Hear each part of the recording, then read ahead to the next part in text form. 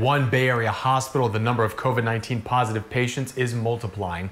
Doctors say if this trend continues, they will not be able to keep up.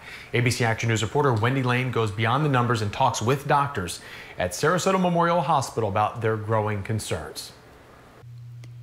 Just over a month ago, the number of COVID 19 patients at Sarasota Memorial Hospital went from a record of 43 on May 10th, dipping to only nine COVID patients on June 4th.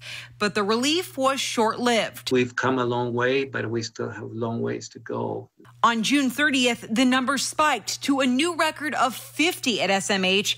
And now, in just two weeks, that number has doubled to more than 100 COVID patients. This population of patients is nothing that we have seen before. Doctors at SMH say they still have room for more patients right now, but they run out of convalescent plasma daily and are completely out of remdesivir, two of the biggest treatments for the virus. Ones that end up in the ICU are extremely, extremely ill. They're very difficult to take care of. Doctors say one of the biggest concerns is not knowing the long term damage done to the people who recover. And even though those that recover, it's not that they recover and they're doing well. What's going to happen with their lungs in the short in the longer term? What happens with the symptoms that persist? The headaches, the fatigue. That's why doctors say it's critical for the public to do their part in wearing masks and social distancing. We need you hospitals and healthcare systems need all of us. In Sarasota, Wendi Lane, ABC Action News.